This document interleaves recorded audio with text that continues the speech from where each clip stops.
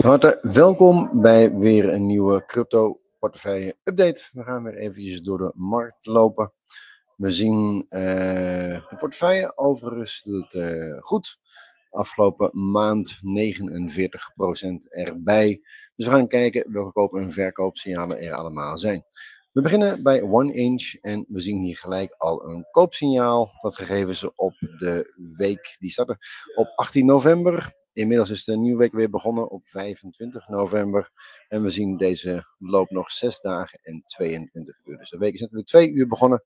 Dus we gaan nu eventjes kijken naar de koopsignaal. Dus One Inch gaan we gelijk toevoegen aan de Bitvavo portefeuille. We gaan eerst eventjes checken natuurlijk of deze nog niet in de portefeuille zit. Nee, die zit er nog niet in. Altijd even goed om even te controleren. En dan gaan we deze kopen voor, uh, even kijken, dat we weer met 4000 euro in gaan stappen. We gaan kopen, uh, bevestigen en betalen. En het is alweer gedaan. Gaan we naar de volgende. We gaan overigens gelijk ook even de portefeuille uh, updaten. dus die gaan we hier eventjes one inch zo. Hebben die ook gelijk toegevoegd. Gaan we kijken naar de volgende. AVAX. Um, koopsignaal gehad en zit verder in stijgende trend op een mooie winst inmiddels. Dan hebben we AAVE, een stijgende trend, nog steeds intact na het koopsignaal. Dan staan we in ieder geval op een mooie plus. Binance Coin dan.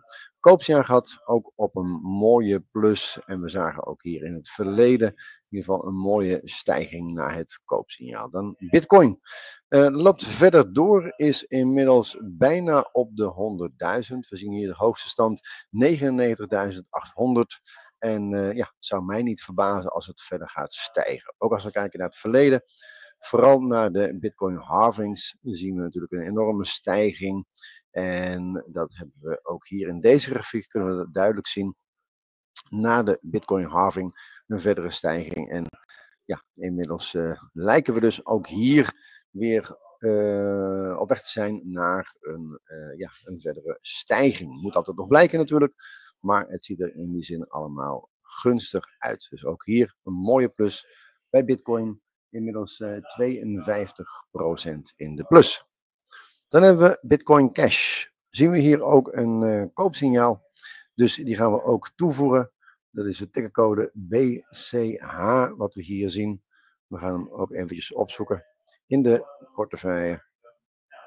En we gaan hier ook even zoeken naar BCH. En we zien over de afgelopen dag weer even een klein dipje. Hoort er allemaal bij. En klikken we hierop. Gaan we toevoegen. Uh, 4000 euro. En dan klikken we op bevestigen en hebben we hem ook weer in portefeuille. Gaan we naar de volgende cake. Zitten we op dit moment, uh, ja, hebben we ook een koopsignaal. We zien dat de altcoins geïnspireerd door de stijging van Bitcoin. En uh, ja, gaan we deze dus ook toevoegen. Dus we kopen een cake. Dat doen we hier we gaan weer eventjes terug naar Bitcoin Cash. En gaan we hier eventjes zoeken naar Cake. En we klikken hier op Pancake Swap. En daar kopen we met 4000 euro. Zo, bevestigen en betalen. En dat is ook alweer gedaan. Gaan we door naar de volgende. Cardano hebben een koopsignaal gehad, daarna een forse stijging. We zagen ook hier een stijging van 45% afgelopen week. Dus uh, ja, de altcoins doen het in ieder geval ook heel erg goed. Chainlink vervolgens, ook een koopsignaal. Dus ook weer een drukke week nu. Chainlink, de tickercode is hier Link USD. Gaan we ook eventjes opzoeken in de Bitfavo. Chainlink kopen we voor 4000 euro. We gaan kopen, bevestigen en betalen. En het is ook weer hier gebeurd. Gaan we door naar de volgende. DGB. Hadden we al, uh, ja, hebben we hier ook dus een nieuw koopsignaal DGB voegen we dus ook toe aan onze portefeuille. DGB zoeken we in het venster DGB en we klikken erop Digibyte kopen we voor 4000 euro. Best betalen en het is ook alweer gebeurd. Gaan we naar de volgende dot. Hebben we ook hier een uh, koopsignaal. ik zie dat um, ik in het verleden blijkbaar uh, wat andere posities nog had ingenomen. Dus waarschijnlijk hebben we niet helemaal meer voor de 4000 euro. Maar we gaan even kijken hoeveel ruimte er op dit moment nog is. Gaan we verder naar DOT. DOT. En Polkadot gaan we ook kopen voor 4000 euro. Onvoldoende saldo, zegt hij. Dus we moeten het hier dan beperken tot 3000. gaan we kopen. En dan bevestigen en betalen. Doorgaan. En dan gaan we verder naar de volgende. Decret zit nog steeds in een dalende trend, hoeven dus niet naar te kijken. Dogecoin doet het heel erg goed. Staan we inmiddels op een plus van 323% EOS hebben we hier ook een koopsignaal. dus ik denk dat we eventjes wat in de portefeuille moeten gaan verkopen. Zodat we daar in ieder geval ook ruimte hebben om deze dus ook gaan toe te voegen. We zien in ieder geval hier Dogecoin 16.000. Dus ik stel voor dat we hier eventjes de helft gaan verkopen. Dus we verkopen. Even kijken voor. Uh, laten we dat eens doen voor 8000. Dan hebben we in ieder geval weer even wat ruimte in de portefeuille. We gaan verkopen. En dan kunnen we in ieder geval weer twee nieuwe posities toevoegen. Zo, is in ieder geval ook weer gedaan. Nou, we moesten even kopen hier met het koopsignaal uh, EOS. Dus die gaan we gelijk toevoegen aan onze portefeuille. Op deze manier behouden we dus wel de spreiding. En uh, dat is in ieder geval ook een hele belangrijke natuurlijk. Want we weten natuurlijk ook niet wat er allemaal gaat gebeuren. Dus EOS kopen we hier nu voor 4000 euro. Kopen, bevestigen en betalen. En dat is ook alweer gedaan. Dan gaan we kijken naar Ethereum. Ethereum geeft ook een koopsignaal. Dus die gaan we ook hier toevoegen aan de portefeuille.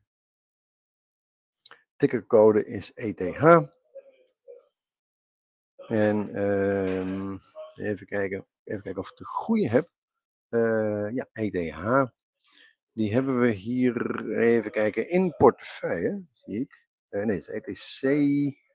Uh, even kijken, Ethereum. Hier is Ethereum. We hebben Ethereum en Ethereum Classic.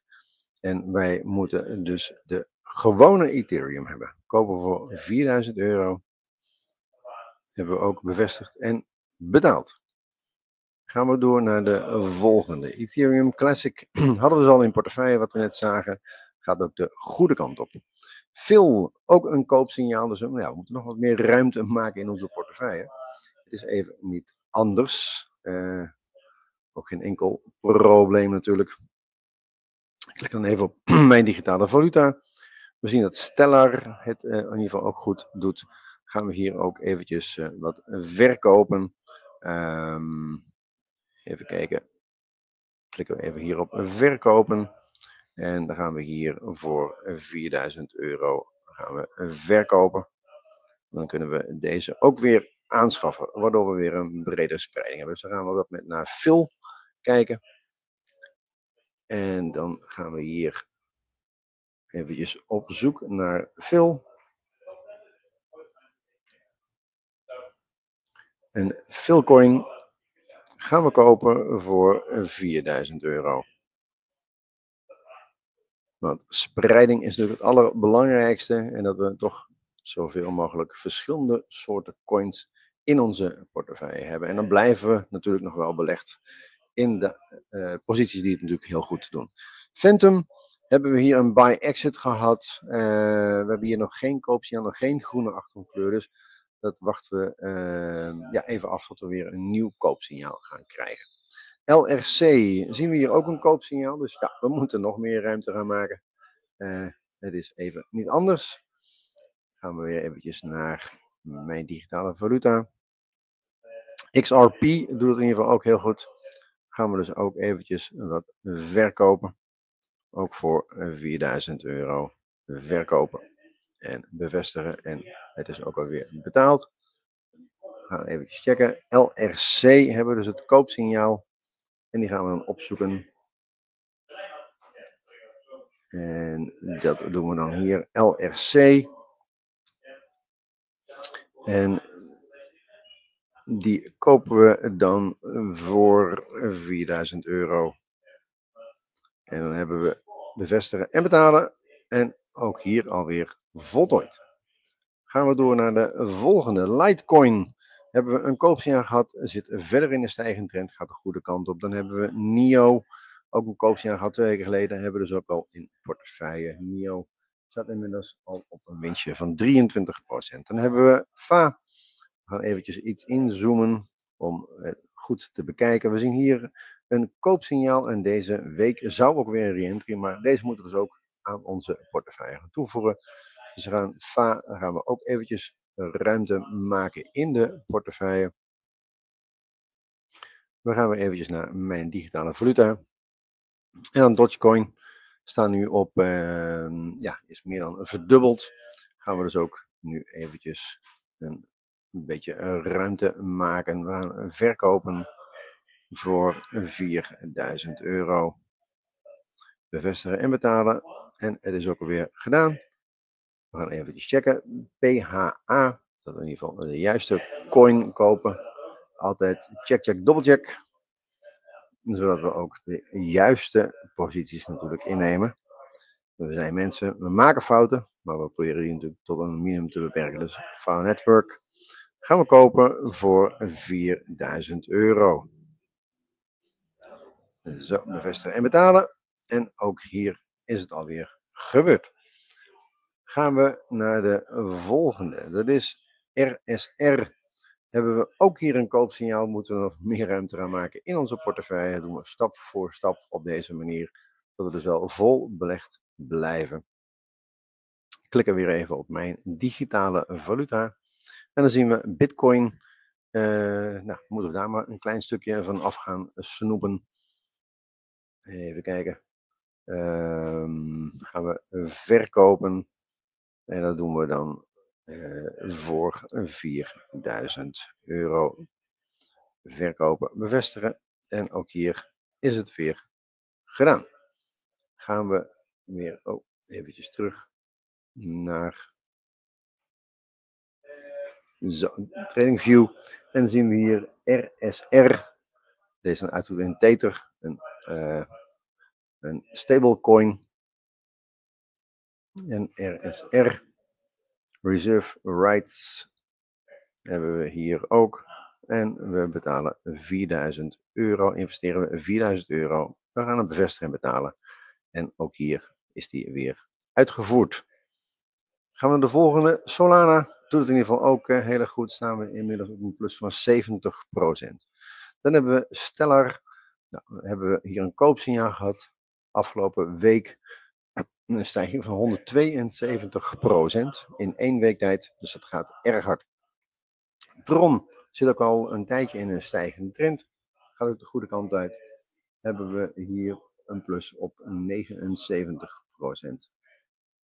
Dan hebben we VeChain. Hebben we twee weken geleden een koopsignaal gehad. Afgelopen week een stijging met 60%. XRP, twee weken geleden een koopsignaal gehad. Toen steeg het 79%. Afgelopen week was het 35%. XVG hebben we twee weken geleden ook een koopsignaal gehad. Staat inmiddels ook op een mooie plus. Vorige week een plus van 19%. iExec zit nog steeds in een dalende trend. Maar zou volgende week zomaar eens uh, wat anders kunnen zijn. En dan zijn we weer rond. Dus wat dat betreft een mooie week. We hebben een bredere spreiding aangebracht. En uh, we wachten verder rustig af wat er gaat gebeuren. Dus tot zover. Heel veel succes gewenst deze week. En graag tot de volgende week.